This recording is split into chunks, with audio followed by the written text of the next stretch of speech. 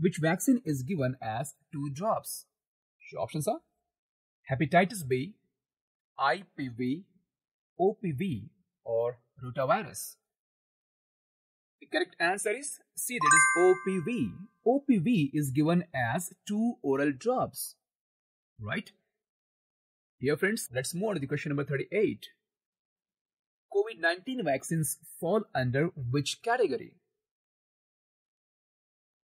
Options are live attenuated, inactivated or mRNA, toxoid or subunit only. The right answer is B that is inactivated or mRNA. Covaxin equal to inactivated, mRNA for others. Question number 39. Which vaccine prevents meningitis? Your options are hepatitis B, HIB, OPV or MMR. The correct answer is B that is HIB. HIB prevents pneumonia and meningitis in infants. Question number 40. The first vaccine ever developed was for TB, smallpox, measles, or rabies? The right answer is B, that is smallpox. Smallpox was developed by Edward Jenner in, in 1796. Question number 41.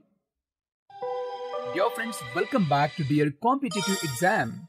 Today, you are attending one of the most important topic for your exam, that is vaccines and this is part 2 of this video series. And I'm sure that you don't want to miss the first part as the first part contains very important questions, very special questions based on vaccines.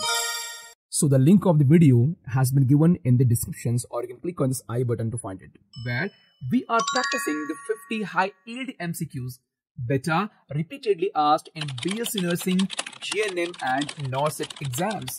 And here from MCQ number 30 onwards, the question become more advanced and closer to the NORCET exam level.